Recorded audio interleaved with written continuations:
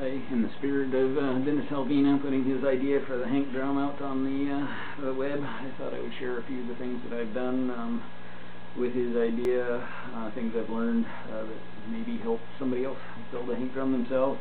Um, a couple of the tips online are obvious. Uh, using a heat gun or a torch to remove the valve certainly does ease that process a little bit. Um, a couple of things I like to use hand files rather than an angle grinder to take the welding tabs off. Um, I think I can do a better job that way. It's a little nicer final appearance. Um, a couple of things that concerned me when I was making my first drum that I guess I wanted to talk about.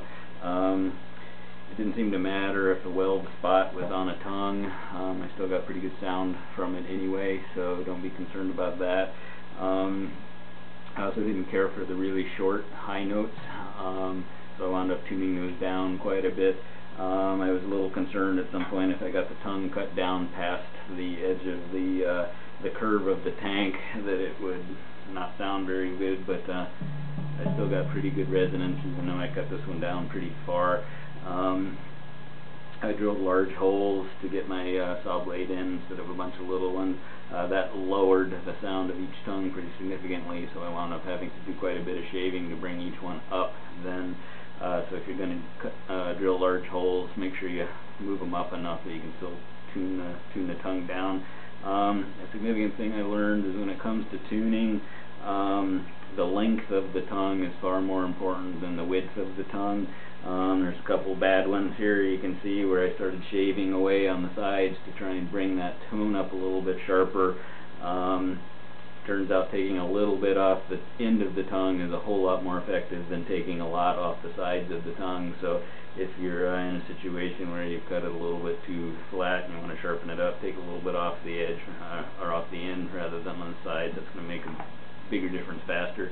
Um, also, maybe avoid getting your tongues real close together. Um, I get a lot of kind of ringing and resonance between the adjacent tongues, so try and give a little bit more space in there where you can. Um, and I prefer the mallets. I can get a little bit of sound by hand, but I just prefer the prefer the mallet sound. I get a lot nicer tone. Um, and uh, I guess a couple other ideas I had just building this one, kind of sticking with the garage aesthetic of the original idea, was I took my bungees and took the hooks off, tied them together with some cord, and then made a cord handle so I can carry the drum around. Um, likewise on the bottom, I wrapped the base with a little bit of cotton cord um, just to protect the floor when I'm moving it around. Um, so those were the original ideas I had. Um, and then I decided after making this one that I would try again, try a few other things. So this is the second one I built. I call it my Dragonfly Hank. Um, primary thing that I learned here was um, you can cut your tongues a rather irregular shape and uh, doesn't matter all that much. You still get pretty good sound from it even when they're a little bit irregular. Um, I cut the top ring off rather than the bottom ring um, thinking that that would give me an opportunity to screw a handle into the top, which I did. However, one of the reasons you shouldn't do that is because uh, the valve threads here get in the way of your jigsaw, so that can make life a little bit of a hassle. Um, so in that regard, cutting the bottom off and uh, cutting this small ring off and leaving the large one makes a little bit more sense. Um, here's my dragonfly hank. Another thing I did was I cut a hole in the bottom so that I could access the inside and um, paint the inside so that it doesn't deteriorate.